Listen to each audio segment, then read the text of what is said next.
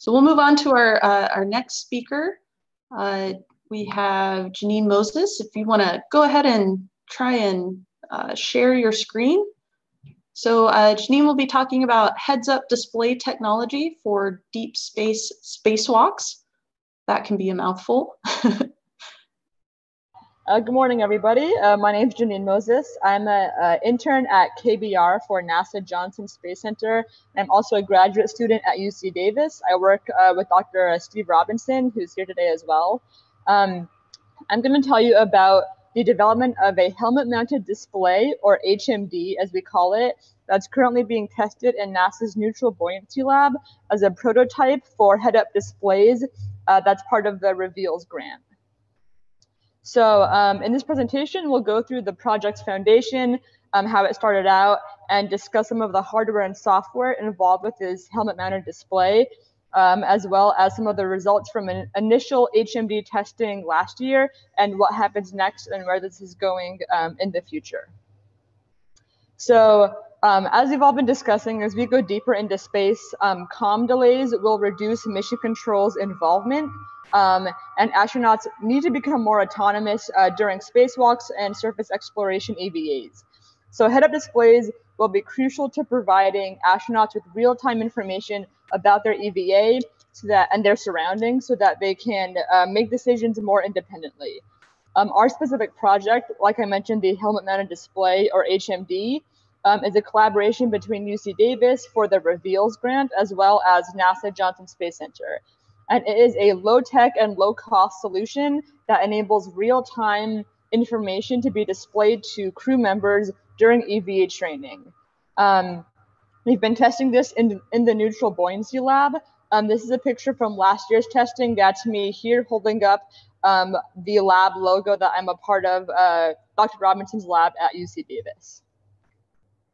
So um, two years ago, uh, UC Davis um, alum, oops, sorry, UC Davis alum Kaden Jefferson and I created a very rudimentary prototype using uh, Dr. Robinson's old T-38 flight helmet, as you can see here. Um, and over the course of 2020 and throughout this global pandemic, Ruby Houchins, who's another UC Davis intern at NASA with me, um, she and I transformed this into a fully operational and voice-controlled helmet-mounted display which you can see here um, in this picture, which is on this uh, subject's right side of their helmet. Um, and we did this under the guidance of our mentors at NASA, James Stoffel, Jocelyn Dunn, and Dr. Robinson. So first, a little bit about the hardware we have. Um, the display screen is a commercial OLED, and it was waterproofed uh, in-house.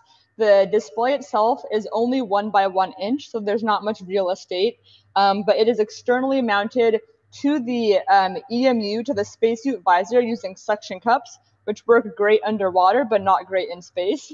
Um, and the swing arm, uh, this mounting option, positions the display about six to eight inches from the user's eyes so they can read alphanumeric text and look at um, uh, kind of simple or basic images on the display.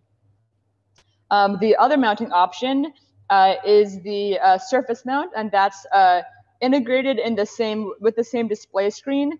And it's a simple chassis mounted as far back as possible on the helmet bubble.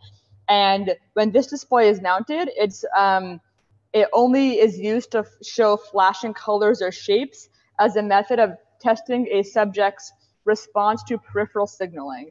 And i'll talk more a little bit about that uh, later this swing arm on the left, as you can see here, it can be mounted in the lower left or upper left or lower right or upper right positions.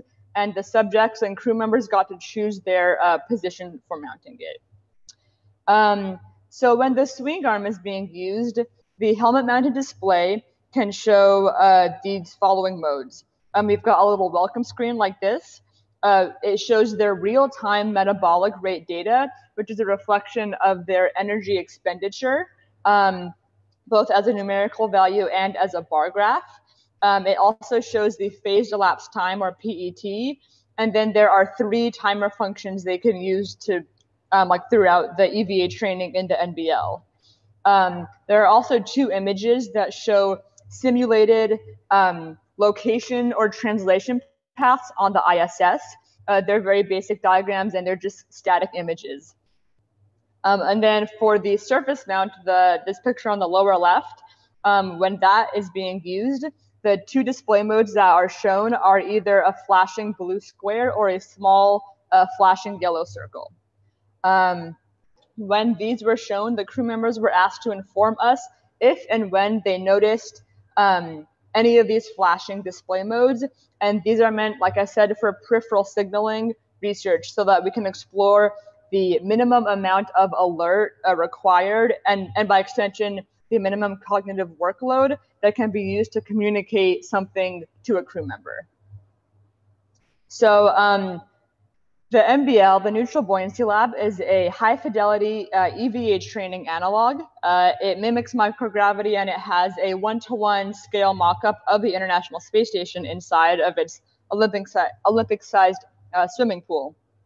Um, so it, HMD uh, went through comprehensive and extensive collaboration between our team and all the folks at the NBL to ensure that we can essentially piggyback onto typical NBL training runs and have crew members utilize HMD as a training aid. Um, I have two videos here. I realized that I don't think my um, NASA laptop will permit me to share sound, but um, this shows an image here um, of um, this is an image of a uh, suited subject uh, with the welcome screen on the display that you can see over here. Um, and you can't hear the sound, but they do ask for they they do um, use voice control and change the uh, display from the welcome screen to uh, the static image um, over here. So there's another one, um, and this one is a crew member where they ask uh, to show the phase elapsed time, and then you and then it will change um, in a couple seconds, and you can sort of see um, and the, the, the reflection as well um, of the display changing to uh, PET or phase elapsed time. It shows zero because this is right when they were um, egressing the airlock um, in the beginning of the EVA training run. So um, let's see. So HMD was tested during five NBL runs, and there were two subjects uh, during each run, so there were 10 users total. Um, the next few slides show a few different um, sets of results we got uh, back from the uh, crew members and suited subjects. So I'm going to go through these fairly quickly because I want to um, be mindful of the time. I'm sorry about that. Um, but there were several considerations that crew members uh, were taking into account when choosing where they chose to have this mount positioned. Um, and that was good to know for future xEMU head-up display development. Um, in addition, uh, most crew members rated metabolic rate as both um, probably or certainly useful, as well as acceptable or excellent visibility.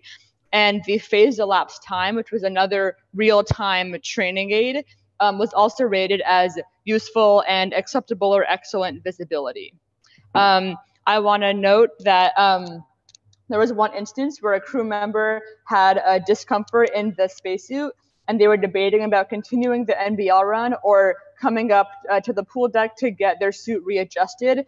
And they utilized the display and they asked to show PET. And they saw it was still early on in the in the NBL training run, and they decided to come up and get their suit readjusted. And that was a great example for us of um, crew members using HMD on their own without um, the team having to prompt them to use it um, as a training aid.